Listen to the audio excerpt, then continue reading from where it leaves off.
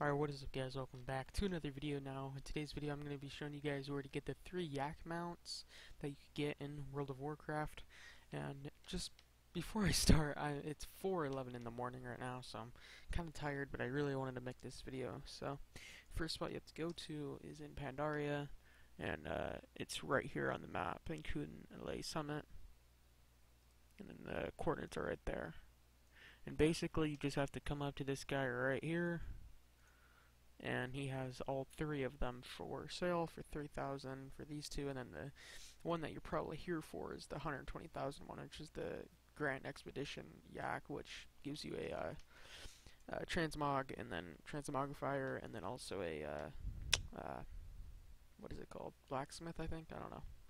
But this is what all the mounts look like. This is the $3,000 or 3,000 gold mount right here. This is the other one and then the one you're here for is this one right here.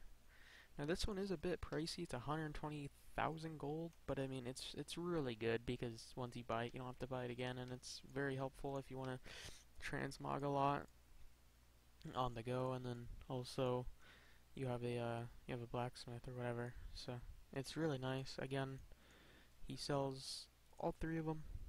He used to not. I I don't remember how it used to be. But you used to only be able to buy this one, I think, and then they added these two as well. So, a couple mounts, easy mounts, and uh, again, here's the location. And then the coordinates are right here. So, I mean, that's about it. If you did enjoy the video, make sure to leave a like, comment, and subscribe, and I'll uh, catch you guys later. Peace out.